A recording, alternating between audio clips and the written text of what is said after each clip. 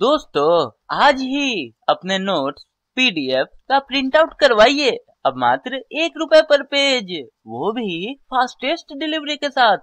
तो आज का वर्ड ऑफ़ द डे इस प्रकार है। घास। घास को इंग्लिश में क्या कहते हैं? घास को कहते हैं ग्रास नेक्स्ट है घर। घर को इंग्लिश में क्या कहते हैं? घर को कहते हैं होम नेक्स्ट है घुटने। घुटने को इंग्लिश में क्या कहते हैं? नीज। नेक्स्ट है, घड़ी। घड़ी को इंग्लिश में क्या कहते हैं? वॉच नेक्स्ट है, घरेलू छिपकली।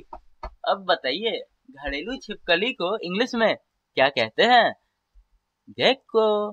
नेक्स्ट है, घाव। घाव को इंग्लिश में क्या कहते हैं? कहते हैं वोंड नेक्स्ट है, नागरिक शास्त्र। नागरिक शास्त्र को इंग्लिश में क्या कहते हैं?